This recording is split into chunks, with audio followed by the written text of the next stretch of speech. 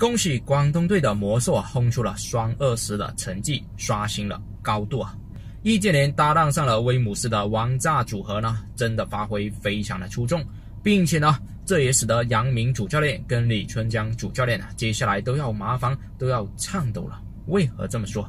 提到这里之前，欢迎大家给咱们的视频尝一下点赞，感谢大家。提到广东队跟山西队的第二场对决呢，广东宏远队终于完成了大反超，并且呢是大比分击败了山西队的，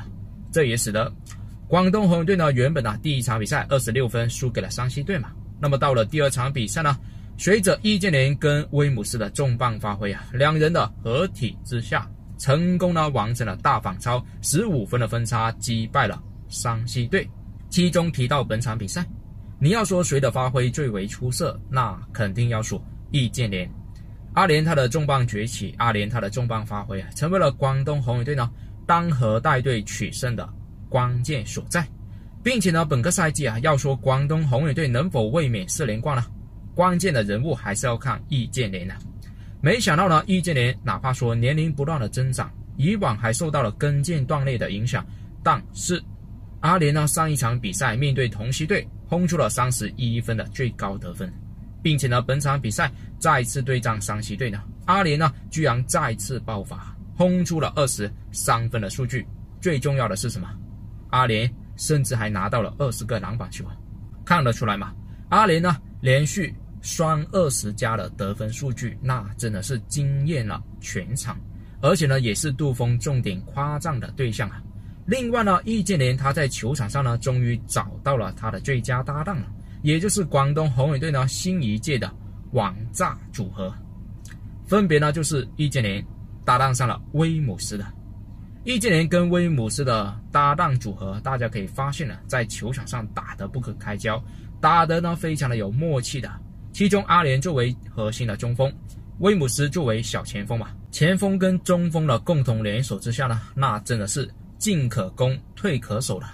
毕竟呢，在进攻的过程当中呢，阿联呢是可以很稳的拿到全场的一个进攻篮板球的。另外呢，在得分能力、中距离的投射呢，可以交给威姆斯。威姆斯的投篮命中率呢也逐步的提高了，并且呢拿到了广东队全场最高的得分二十四分的数据，篮板球呢同样拿到了七个。那么在防守的过程当中呢，阿联他的防守篮板球更加不用多说，阿联全场呢一共拿到了二十个篮板球。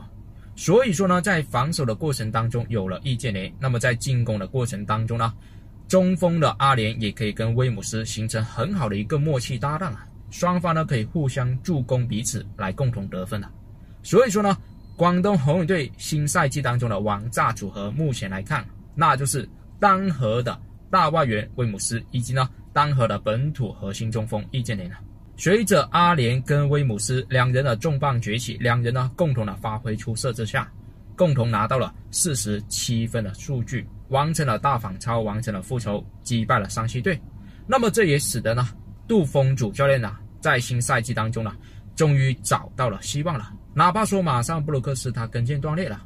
哪怕说呢赵睿因为呢他个人的家务事情没有能够上场打比赛，另外呢还有苏伟，